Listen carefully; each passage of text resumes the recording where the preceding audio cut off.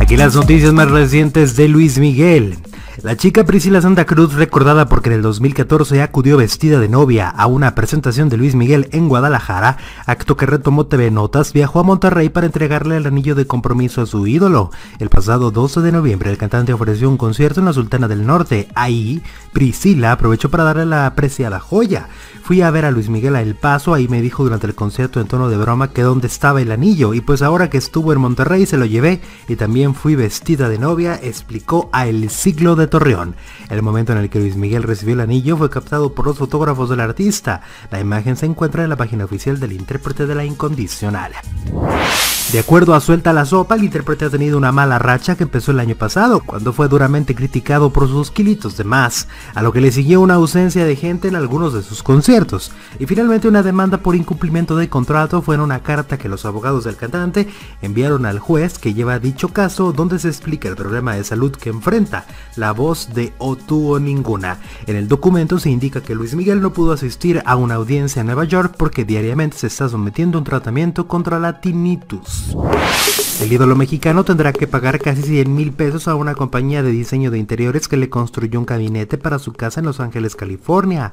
Bárbara Myers, jueza de la Corte Superior de Los Ángeles, declaró que Luis Miguel no cumplió con los términos del contrato que él mismo acordó con la compañía que lo demandó, según el diario mexicano La Opinión. A pesar de que muchas veces han tachado a Luis Miguel de ser un padre irresponsable y poco amoroso, ahora una integrante de la dinastía Pinal rompió el silencio y defendió a El Sol.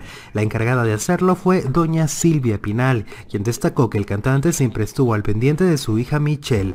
Durante la entrega de los premios Bravo, la primera actriz detalló que a pesar de los rumores, el intérprete de La Incondicional siempre veló por el bienestar de su hija.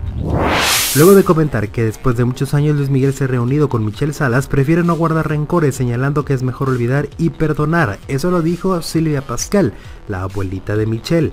La abuelita de Michelle aseguró que no tengo nada que perdonar, a mí no me hizo directamente nada, aunque dijo que es lógico que cuando lastiman a alguien que amas, es lógico que te queda un sentimentillo, ¿no? Pero tampoco lo puedes guardar toda la vida.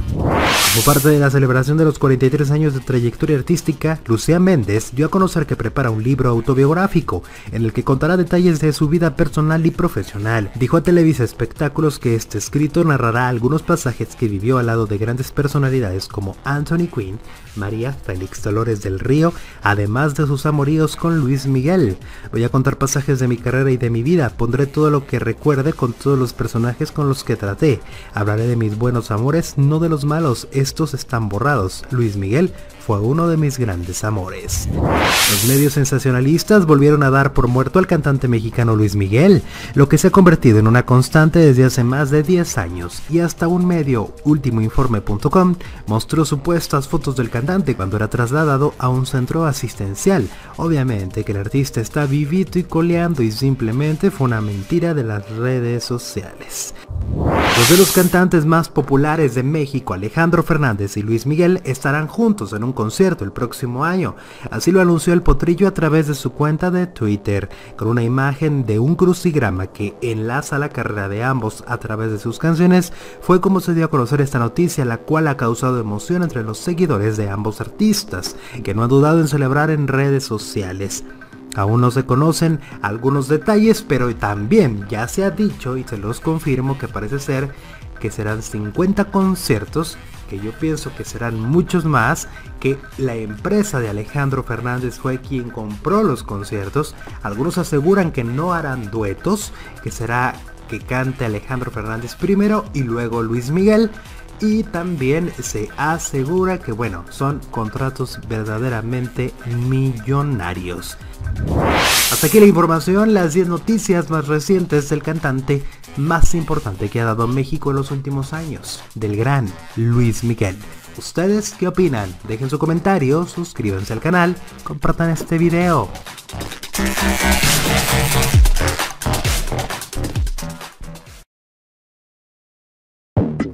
Antes de que te desconectes, te invito a suscribirte en mi canal. De lunes a viernes habrá videos nuevos relacionados con el mundo del espectáculo. Es el único canal que te informa de manera inmediata de la información de la farándula reportajes especiales y cosas importantes. Así que suscríbete ahí donde está la parte de suscribir, dale click y así estarás informado al momento. O bien, si tienes Facebook y quieres que te lleguen los videos, también por supuesto puedes seguirme a través del Facebook oficial Alejandro Z Show. Alejandro Z Show es el Facebook. O bien también puedes seguirme a través de Twitter en dos Twitter. En uno es mi Twitter personal que es arroba Alejandro y ahí te doy follow, sí, y nos seguimos automáticamente los dos. O bien al Twitter de la página que es arroba fan Así que ya lo sabes, hay diversas maneras en que puedas estar en contacto con un servidor a través de las redes sociales e informarte del mundo de los espectáculos, el canal exclusivo de información de farándula. Hasta la próxima.